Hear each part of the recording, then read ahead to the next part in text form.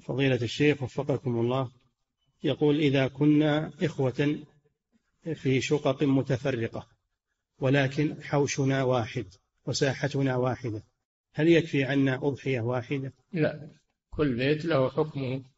يتابع للنفقة إن كان نفقتكم واحدة تكفيكم أضحية واحدة. أما إن كان كل واحد ينفق على بيته فكل واحد يشرع له أن يضحي عن أهل بيته. نعم.